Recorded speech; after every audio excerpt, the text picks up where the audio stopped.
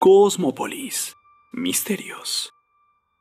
Pensábamos que las historias perturbadoras que rodean a la serie de las pequeñas criaturas azules habían terminado, pero nos equivocamos. Todavía hacía falta hacer este último video, ya que a lo largo de su existencia se han tachado a los pitufos de contener temas homosexuales, comunistas y por supuesto racistas, aunque también existen mitos y leyendas que rodean casos inexplicables donde uno o más pitufos se han visto envueltos. Estos son rumores, pero tú decidirás qué tan ciertos o no son. Pero nuestro trabajo es compartirte la información. Es por eso que Cosmópolis te presenta Los misterios de los pitufos más aterradores, parte 3 y última. Esta es la historia de un pequeño que se encontraba en su recámara mientras la mamá planchaba en otra habitación. En el cuarto del pequeño había un estante frente a la cama donde se encontraba un pequeño papá pitufo. El chico le gritó a la mamá, Mamá, mamá, el pitufo me dice cosas malas. Su madre no le dio importancia y le ordenó que se durmiera.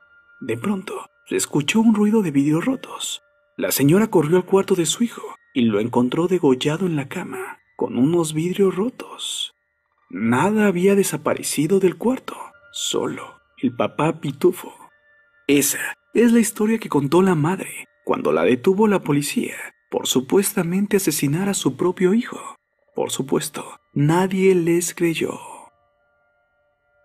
Pierre Culliford, conocido como Pello, fue un dibujante belga de historietas. En 1992 murió de un ataque al corazón a la edad de 64 años. Los dibujos de los pitufos carecían de un talento bueno, esto según algunos críticos, y decían que el trabajo de Pierre no tenía ningún mérito artístico, por lo que el rumor comenzó a circular en distintos grupos sociales. El dibujante había hecho un pacto con el diablo, vendiendo el alma para triunfar económicamente, y esto lo decían porque antes de los pitufos nadie lo conocía. Para muchos, simplemente salió de la nada, y ya después de los pitufos, nunca más produjo nada que alcanzara un poco de éxito.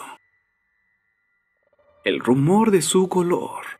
Los pitufos tienen ese color azulado, supuestamente, porque se remontan a los antiguos sermones medievales, donde las almas de los niños que no eran bautizados y morían quedaban atrapados en el limbo, sin poder irse al cielo, como las demás almas.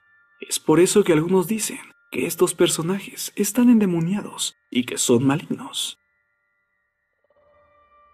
Los pitufos, cuando festejan algún evento o algo especial, todos se toman de las manos y comienzan a danzar frente a la gran fogata. Este hecho fue fuertemente señalado por los religiosos, debido a que lo consideraban como parte de algún ritual satánico, o mínimo, perteneciente a rituales paganos. Otra vez el racismo. Una de las más fuertes críticas y reiteradas que ha recibido el programa es que en una ocasión se contó el origen de Pitufina, la cual fue creación de Gargamel, y el fin de Pitufina se infiltrara como espía en la aldea de los pitufos, para que después Gargamel lograra su maléfico plan. Es por eso que inicialmente Pitufina tenía el cabello negro y un aspecto menos agraciado. Pero cuando esta historia termina y Pitufina es liberada y se arrepiente de espiarlos, es aceptada en la aldea como parte de la comunidad.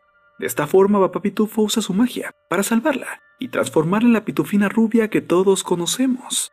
Y es decir, los rubios son buenos y los que no, no. Con esto, damos por terminado los mitos y leyendas que han rodeado esta serie que a muchos marcó nuestra infancia y que estamos seguros, ahora de adultos, la vemos con otros ojos. ¿Tú qué opinas? ¿Es una simple caricatura o hay algo más atrás en ella? Por el momento es todo familia. Saludos misteriosos y bendiciones. Si te gustó este video dale like, compártelo y suscríbete a este canal para ver más videos así. Suscríbete a Cosmópolis, suscríbete, suscríbete, suscríbete.